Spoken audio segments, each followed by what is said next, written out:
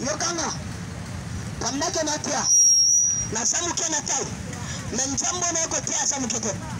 Naza na volonte ya nzambe, na tia na betusa mine na mboko, mesono te ya mingi, na kotaka ba conflit na ba pasteur. Yango semaine euti oleka batieli nga prozo ya 15 minutes, mpo na umela te na kuva, na keyo pitali bo docteur abi otika na 2 minutes.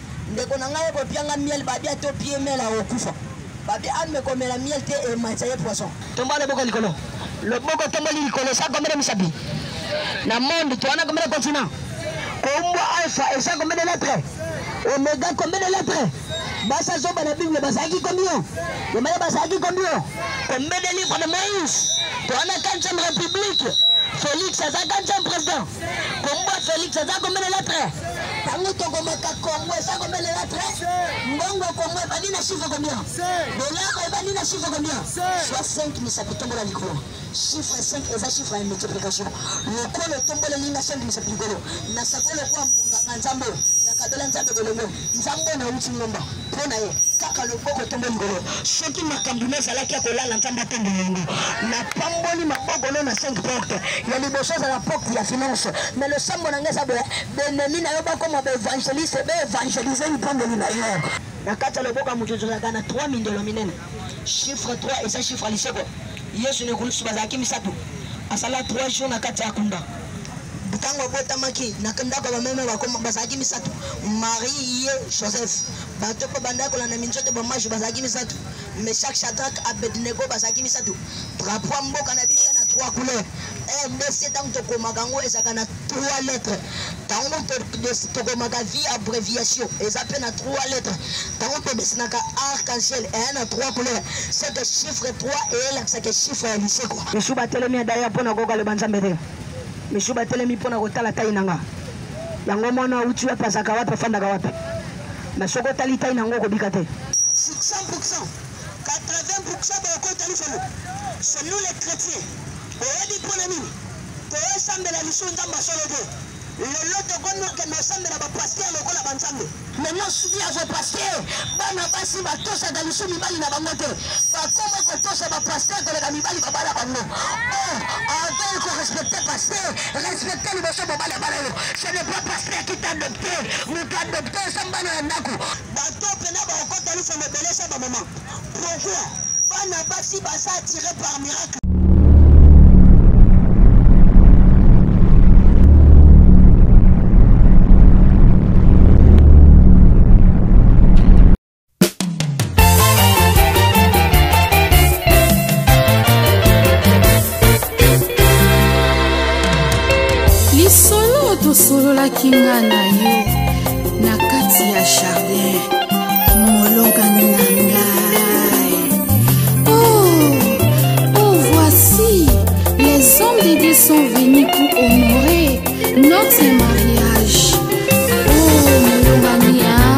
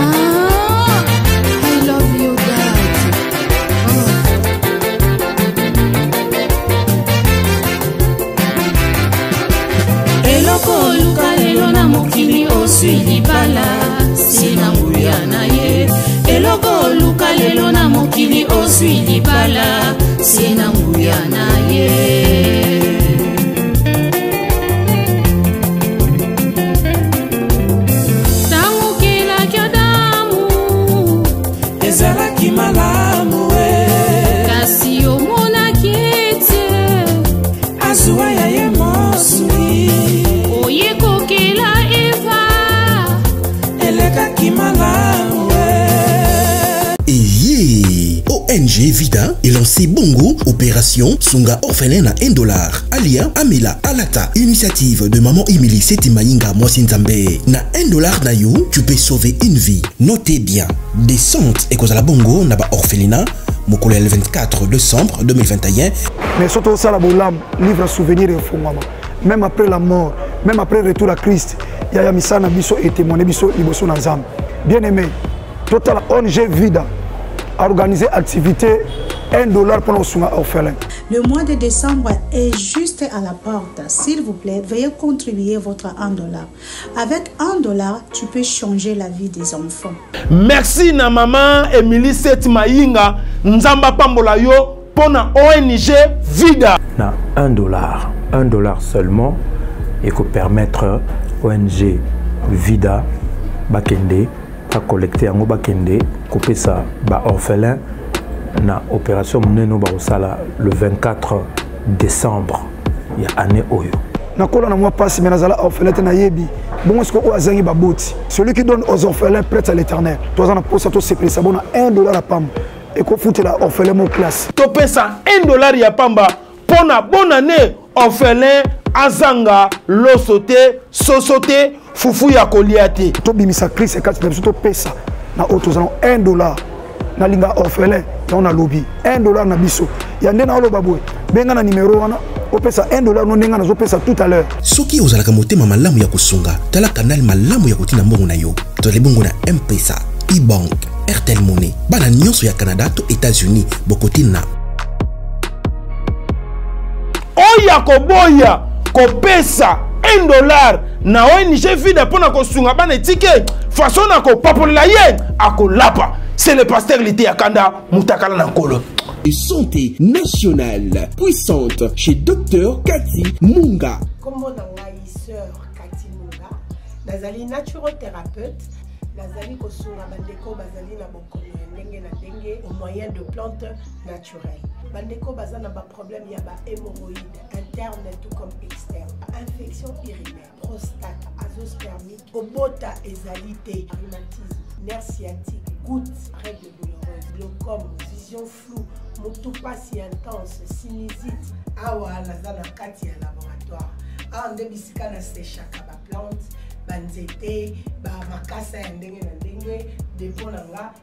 yango oyo esika nasalaka baformule na basolution na ngai merci na ekipe mobimba ya maison chez kati en particulier joyce bolama eye bino bato oyo boza na mposa botinda biloko na bino ekóma na kisasa na ndenge kaka botieli boezite te agence eza kaka moko zibe service ya josé bayila agence zibe service ya josé bayila ye wane azalaka mundele te azalaka mutu mwindu na moment ya confinement zibe service amemeli biso biloko na biso na mbula moko conteneur ekoki kuya 6 fois 7 fois 60 fois agence na europe mobimba etikala kaka moko zibe service eza na reine banimero ya kobenga yango wana kobenga zibe service eza kosala mosala awa na kisasa eza bongo place ya kobunga te na saint therese na nsima ya station mbala moko oza mobimba afasi na yango la police zibe service eza wana bana biso toza kaka na kisasa te toza na angola toza na braza toza na mbanza ngongo toza na matadi toza na boma toza tinaka bango na moma ya confinement na bango na bazansi na bango balali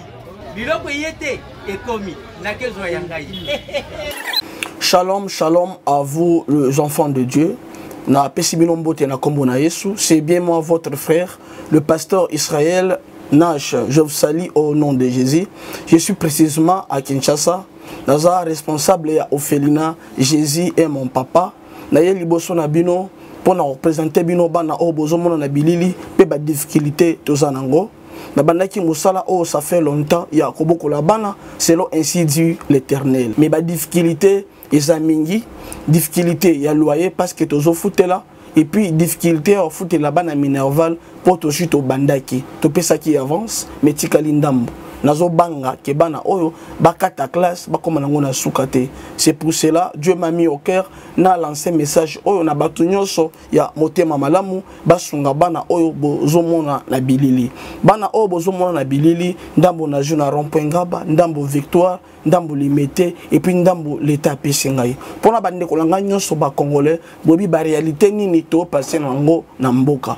soki ngai simple individu nandimi kozwa bana oyo nabokola na ainsi dit l'éternel soki leta se décide tomona su bafaser na nzela te c'est difficile ya kosala yango nga moko c'est pour cela nazolanse appel na bana nyonso ya nzambe mpo na klase ya bana oyo mpo na loye na bango kolata mpe kolia na bango naosenga na bato nyonso baza cœur sensible mpe baza na motema kosunga basunga biso mpe basalisa biso toza na commune ya kalamu quartier kauka référence ya monene tokangami na université kimbanguiste aveni nkombo na yango eza marin numero 16 numero ya telefone na biso mpo na bato balingi bacontacte biso mpo na badetail mosusu eza plus 243 89 72 32 229 nakoyebisa bato ebele desiko bato bamelaka likaya bana bolingo koleka biso mpo na nini Bato bamelaka cigarette na mona na sala experience baokabola cigarette moko 11 personne 12 personne mais mpo na biso esalamaka te epai na biso eza kaka okopambwama okokende mosika na naye kotia bato merci papa pardon nzambe apambola natelemi na sikoyo naye na fond te mbongo okopesa ngai na suki ekobongisa vi na ngai te me o nzambe akofuta ngai eleki oyo bato bakopesa ngai oyebi eloko esala mboka na biso kufa ntango naomona yango esala nga mpe mai ya miso kita komona ndenge mboka ekweya akondisio biloko ya mike mike tambola na kati ya beglise 600 pourcent 80 pourcent baokota lisolo selou le chrétien oyebi mpo na nini toyosambela lisu nzambe asolo te lelo tokomi okende osambela bapaster lokola banzambe oh apropos podi ceci kamwa jevise ne pas motivi mais c'est l'éternel qui vit en moi mais lelo tokomi obenga bato na batv yaka nga muno osala miracle yaka nga mutu na obikisa tandis que toza ba simple instrument devant nzambe pendant que na otelema na siko na oyebisa bato nyonso na siko oyebango malamu makambo ya nzambe ya komplike la vie d'un homme ce n'est pas le passé mais c'est le futur mais na otali solo komoko na vie na yo soki osambelaka trop okotaka eglise trop babundisa kote batonga kote seko lokola ya nzambe te babombaka libanga na nzoto eza na minoko kuna batiaka misu na eloko eza na valeur me pandake na otea naza na mai te mungu ata kopesa bato me naye na nkombo moko libere bato eza nkombo ya yesu kondima ye eloko mosusu Na capable te na simba batu na mutu. Loboko ya Nzambe eza mokuse te mpo simba mutu. Maman ma papa, nayebi yango malamu. Yesu ayeki mpo na bato mbongo te. Yesu ayeki mpo na bato mabe batika mabe bandima ye. Mais lelo na kati ya Congo, différence ekoti na kati ya l'église entre moto ya mbongo na mobola. Moto ya mbongo na église ana valeur koleka pasteur. Mobola aza humilie na kati ya église. Banda nabotamaki nakomi na age Namona te moto ya mbongo na kati ya eglise bakanga ye ndoki. Bosala experience. Bakangaka ba mama oyo balataka salite, bakangaka ba tato balataka ba pantalon kotoboka nde bandoki. Mais pendant que na oteya, na sa muke na tayo, mais nzambe na ye koteya sa muke te. Dans la domaine spirituel, bato bazalaka na kondima salite sa ba mama. Bato pena bakokota lufa mebele sa ba mama. Pourquoi? Bana basi baza attiré par miracle. Miracle elendisa bango. place basambeli mpo na moto asambi ngolo mabe asambi mbisi ya mai mabe bato batrouve ke aa mosala nzambe yokana biso loko moko nasali experience lobi na koti na compte youtube naotala bafilme kotala naotala nakutana journaliste moko ooloba en pleine émission alobi boye mboka oyo to comprendre te kati américain rene baromen roche bango wana baobunda mais pourquoi bedingwe baobunda te bato barépondre eza gouvernement ngai natali mpe naseki bakati congolais ekufa te kati congolais ezali lelo bakati rebele bakoma bapaster miracle ebanda kosama na kati yango ekomi kosama na kati ya beglise basimbi moto ake kokweya basambeli mpo na moto asanza ngo ya mabe asanza mbisa mai mabe nayebi te soki nzoto ya moto ezali ziba yokanga pandake natia naza moke na tai me nzambe oyo nayekotia aza moke te nabotama na libota oyebi nzambe te libota oyo bato babandona me nzambe apona kobimisa ngai na libota wana nakosepela te namona mboka na biso ezokufa kondima sali te bana basi ngai nabala yesu nakopesa mikumba ye abimaka na mibali chaque poko apolobaka abala yesu kondima salite toza bahypocrite yango toomona nzambe te kosimba bible na sali preke eza bonzambe te eske nakokoyoka me na bato kondima oyo oloba mona makasi nzambe apambo na yo sobeteli nzambe maboko soki na journal lelo na yebite yango yokanga bandakana oteya naye na message moko message na ngai eza boye mboka na biso etambola na lokuta te me mboka na biso etambola na verite so mboka na biso etambola na verite tosepela makambo oyo nzambe asala lelo lokuta ekomi monotoni mama yaka nzambe alakisi nga ozokende poto ozokende etats-unis tuna paster azoteya yo okende poto okende etats-unis tuna ye soki banda botama te kopoo benjili dese na kati ya kota omona ntango so report de nzela pamba nano akota te ata lubumbashi apamba nano akoma te mais otindika bato bakende poto véritable prophétie c'est la parole de dieu on ne s'aime pas avec dieu loba nde na bina véritable prophétie c'est la parole de dieu soko otelemi apona prophétie okoyoka makolo mpasi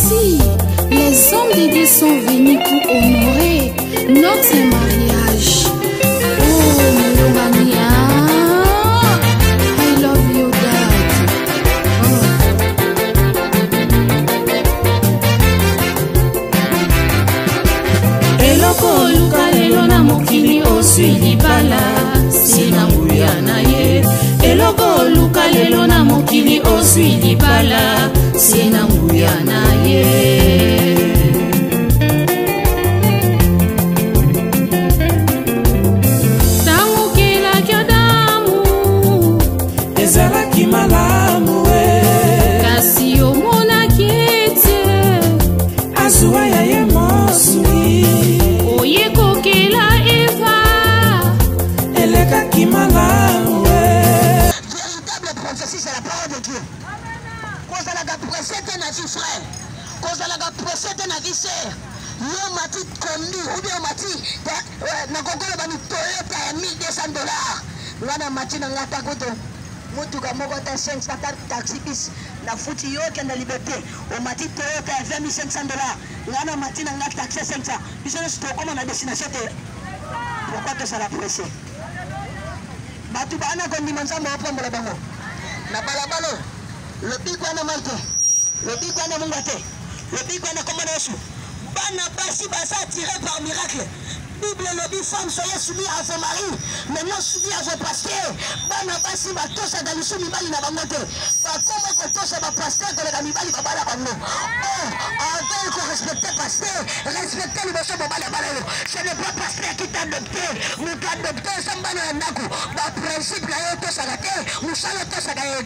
ah mbokoyo mbokoyo mbokoyo esalanga mpasi komona ndenge mboka ekende na suka moto nyonso atelema na kondima eyebi te na lelo nzambe akombola bato nyonso na milia lelo yoka nayebisa bino eloko moko bandaki naosambela naye na bishi te pwil de lif te mpo nabimisa bato bangolo bambisa mai mais huile na nga Mungwa na nga eh, kombo ya Yesu bato bateleme na kondima na asire bino oyebi te na lelo ozamba wapambola moto nyonso ye moto nyonso wana kondima tia loboko na motema na kisambela naza moke na tai na nzambe oyo naye kotia aza moke te balobaka na français tout le geste prophétique compte kaka bato nyonso bateleme na kondima naosambela mpo na bato nyonso baza kondima bama ina bato boyoteka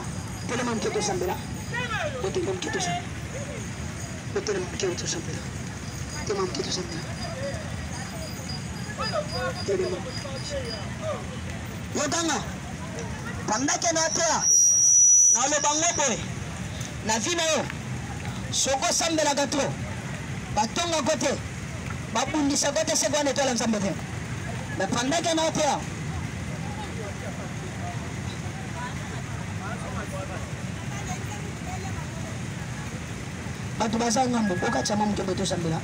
koyamba priere ya clotire moto nyonso wana kondima ya koyamba priere ya clotire bamama mpe na bato baza kuna tokatya awa toyamba priere ya clotire telema awa toyamba priere ya clotire priere ya clotire ebikisa bato nyonso na balabala nayaki na poso ya teya te mais pendant que naoleka na se sentir molimo nzambe etindi nga elobi pole koleka te sala makambo oyo nga natindi yo seke naosala na volonté ya bato ya mokili te naosala na volonté ya nzambe natia na beklise ndenge na mboko mais so naoteya mingi nakotaka bakonflit na bapaster yango semaine oyo euti oleka batyeli nga poison ya 15 minutes mpo naumela te nakufa nakeyi hôpital bo docteur abi otika na 2 minutes ndeko na ngai ekopia nga miel babi ato pie mela okufa babi ame komela miel te ematisa ye poison mais pendant ke bato baokontele nga minute nakufa na place nakufa nzambe akomisa ngo congélateur nayebi so eloko moko esika bato baokufa nde place nzambe alekisa yo yokana yebi so eloko moko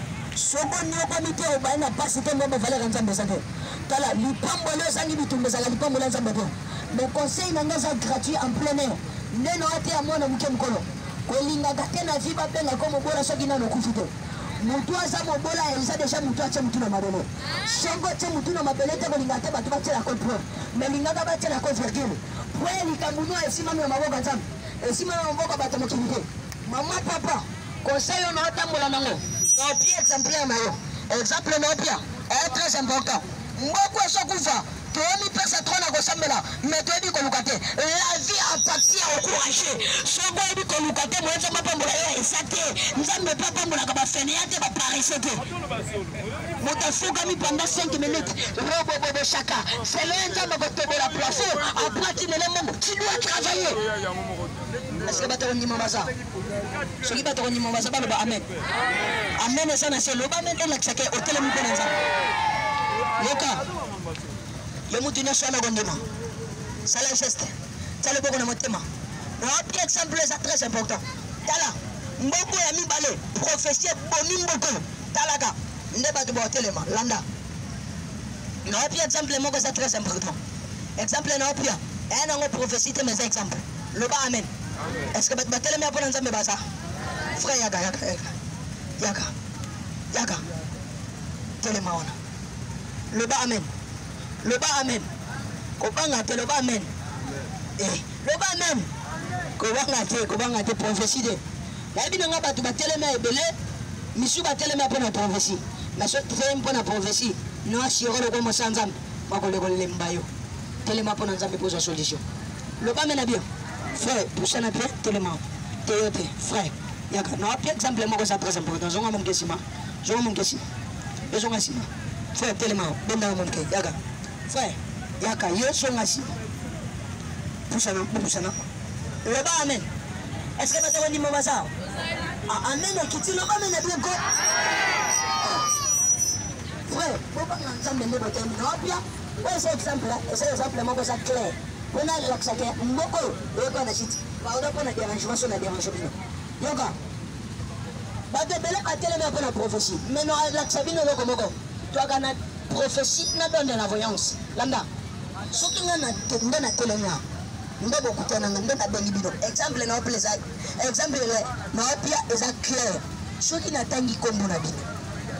natangi na place bowuti natangi na bandoto boletaki lobi natangi na kombo ya papa na kombo ya mama natangi na kombo no moko na pepi ya osomo na kombo ya ndako na kombo ya mboka natangi soki oyo na mbongo na poshi natangi soki oyo na mbongo mpe na poshi te natangi natangi na bandoto elotaki na semaine passé natangi kombo ya mwasi na ya bana soki mpe wana bandeko na mboka natangi plupart natangi na konani natangi mpe na bandeko na yo mpo epia bino esomo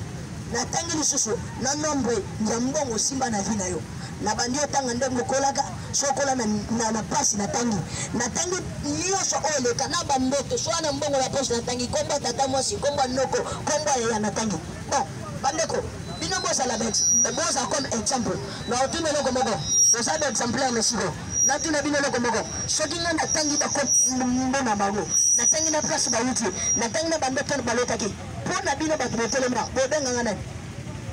Loba makasi, obenga nga nani? Prophète. Vous voyez comment moko ezokufa, botala malamu. Soki atangi kombo na yo, elakisi te kaza prophète. otemi na balabala moto abengi kombo na yo ana kobanga te eza prophetie te prophetie un prophète c'est quelqu'un qui va prophétiser ce qui va arriver mais oyo eleka baobenga prophète te yo ke na ndako nganga nakokota te nganga abengi kombo na yo ana kota est ce que nganga aza prophète c'est un voyant nous avons aussi le don de la voyance bato ebele baodifférencie te que signifie le don de la voyance entre prophétie na voyance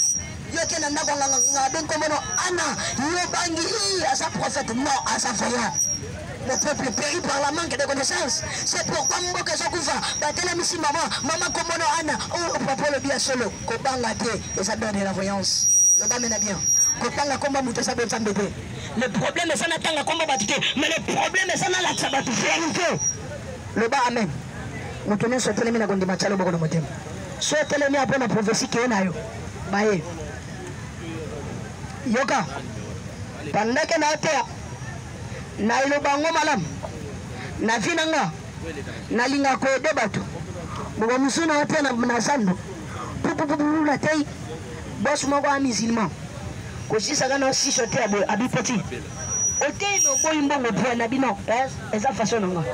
abi nasepeli nakotia nao me nakoyede yo akoti lobo na poche en plein air oko bato bate mike mponga asala bato batondaka penepene papa nakoti lobo na poche na place abimisa mbongo na place abimisa babijou baor papa na mpenza tria tria tria tria atali bona poche loko ezata abengi ka motu chauffeur na ye yaka pesa contact wana kotia nga tia nga contact boye bato bagangi yokana biso eloko moko soki bato baboyi kosoutenir nga nzambe aza capable ya kosoutenir nga le problème eza na lobele verité oyi na nga oyi na nga mpo na koloba ve verité la bible déclare celui qui parle la vérité proclame la justice nayebi solo komoko olingaka te bapaster nyonso batiako maboko na motu misu bayibaka oyo etoile sale savoir natelemisa mama moko mama yaka nzambe alakisi ngo sokende poto amen balobelaka ngai naza na bitumba na kokende poto me natelemisa papa moko papa yaka nzambe alakisi ngo okende mboka akovinga yo mpo na poto je reçois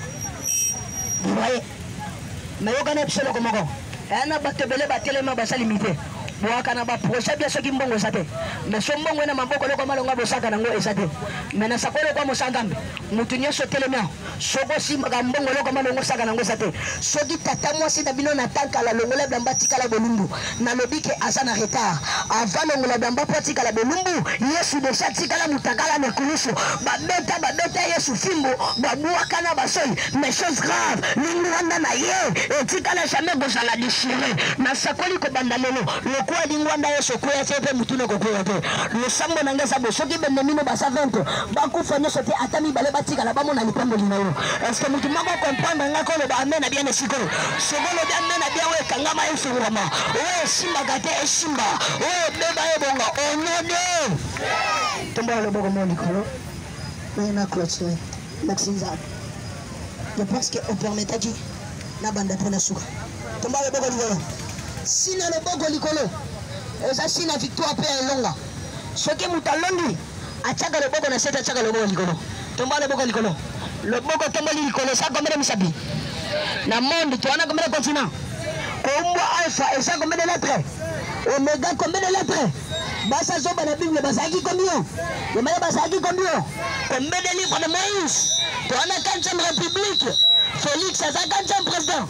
Congo ya Felix aza combien de lettres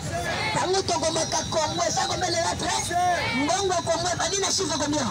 Dollar ebandi na chiffre combien Soit 5 misapi tombola likolo chiffre 5 eza chiffre ya multiplication lokolo tomboleli nga 5 misapi likolo nasakoli okwa mbunganga nzambe nakadola nzambe bolongo nzambe oyo nauti ngomba mpo na ye kaka loboko etombo likolo soki makambo nazalaki ya kolala nzambe atombo yango napamboli maboko no na 5 porte ya liboso ezala porte ya finance me losambo na ngai eza boye benemi na yo bakoma baevangeliste baevangelise lipamboli na yo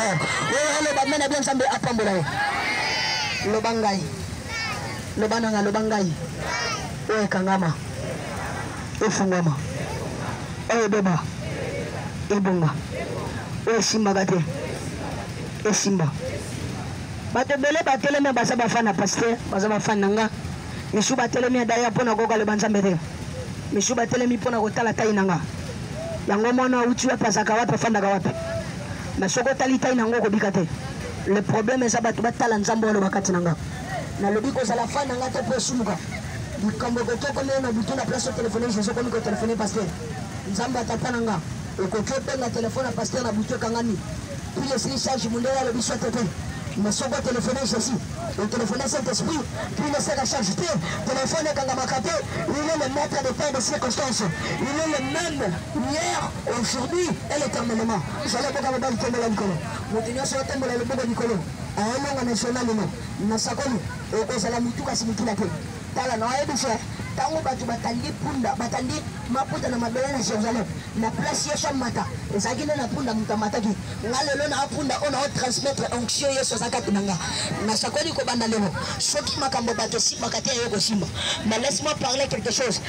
place lipamboli ezali place bitumba ezalaka soki batonga ko te babundisa ko te bafinga ko te seko wana etwala nzambe te tala mai place yo osala soki bato baobundisa seke eza place ya lipamboli omoni place lipamboli ezali place bato bakendaka koluka diama place bitumba ezalaka place kosanga ezalaka place kufa te ezalaka seke place yo ozobunda mpo ozwa il faut mpe bitumba ezala loba amen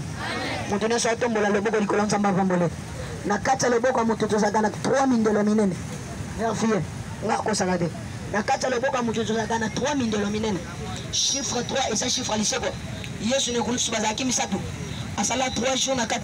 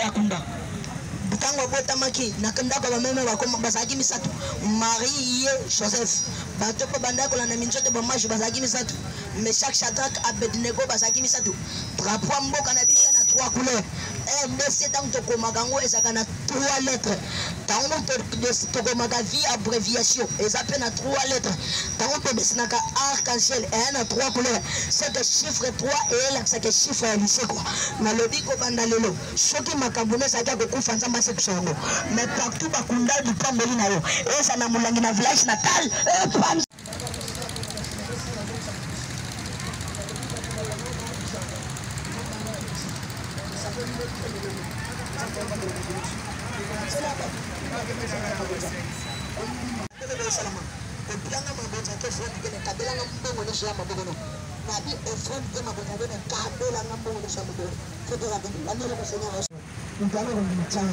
Soki ape na ko ndima te, ah etali yo. Kabela nga mbongo nyoso ya 500 000 francs. Kabela nga mbongo nyoso ya mabongo 3000